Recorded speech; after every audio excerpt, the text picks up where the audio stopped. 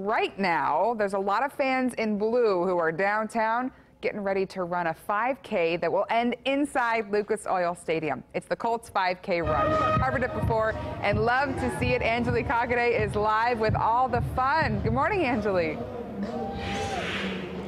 Good morning, Brenna. That's right. Well, it really is a sea of blue. We're told there's more than 5,500 runners that have already started, as you can see be, behind me here. Now, we're told that, uh, yeah, there's more than 55 runners that are making their way to that 50-yard line. They're, they've been starting in waves here on the north side of the stadium, and there's under a blue, there's under a blue sky right now. There's a lot of energy, all ages. Some people are dressed in costumes. We saw a woman just walk walk on by with the uh, with the tutu on. Now, the race is presented by IU Health. Before the race, a physician from the hospital gave some race health tips to runners.